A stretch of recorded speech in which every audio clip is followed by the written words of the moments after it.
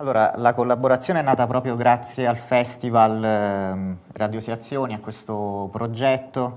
Eh, la cooperativa Cilento Solidale per il metodo di lavoro che ha, quindi di attivare la comunità, di creare una rete sociale, una rete di relazioni che possa portare benessere e, e possa rendere partecipe la comunità eh, rispetto a tematiche eh, Beh, se ne, po- se ne, parla poco, esatto. ecco, però vista la risposta che c'è stato la... progetto, c'è questa esigenza ecco, di sì, eh, sì. rendere, eh, azio- ehm, cioè, eh, realizzare delle azioni concrete per il coinvolgimento sì, di questi infatti, pazienti. Infatti, le persone in carico ai servizi mm. e persone private segnalate ehm, che hanno sentito, la, si è sparsa la voce di questo progetto e hanno deciso di aderire spontaneamente come volontari a, eh, a, questa iniziativa sono stati tantissime, le persone coinvolte in totale sono circa ecco, 51 come, come, volontari. Sì, queste sono le foto del, dei laboratori che sono in corso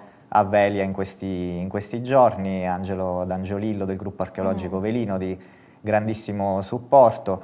Eh, la Giussi Rinaldi, mm. ecco l'occasione anche per ringraziare la splendida collaborazione che la cooperativa Cilento Solidale ha con la fondazione La Casa, Casa di Anna Laura, Laura. Con, eh, con, la quale condividiamo la stessa linea di lavoro e di intervento sul territorio. E, mh, il Festival Radiosi Azioni nasce da un progetto Radiosi Azioni, per cui il progetto è quello di attivare la comunità stessa o la persona che generalmente viene considerata eh, come bisognosa, come eh, persona da accudire.